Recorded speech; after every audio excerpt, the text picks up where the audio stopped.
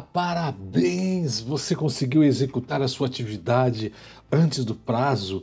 Olha só, você é um cara, um executor de fato. Você é o cara, você é que faz. Nossa, se todo mundo fosse igual a você, o, a gente não perderia tanto tempo nas coisas, não perderia tanto dinheiro.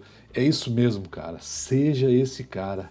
Você faz acontecer. Isso é uma coisa comum. Você já viu isso acontecer na sua empresa ou na sua vida, na sua família, enfim, nos lugares que você está?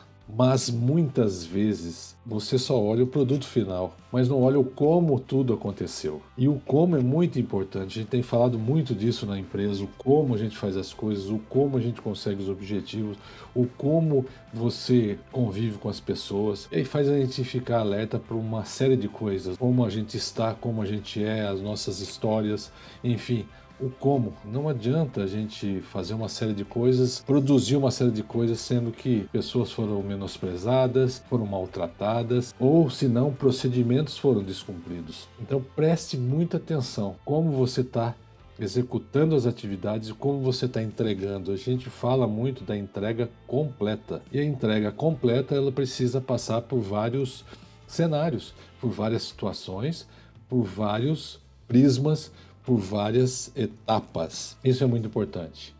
E aí você precisa analisar lá no fundo mesmo da situação o como as coisas estão sendo executadas. Pense nisso. Como você tem agido diante das situações ou dos desafios que você precisa executar. Como? Como? Como?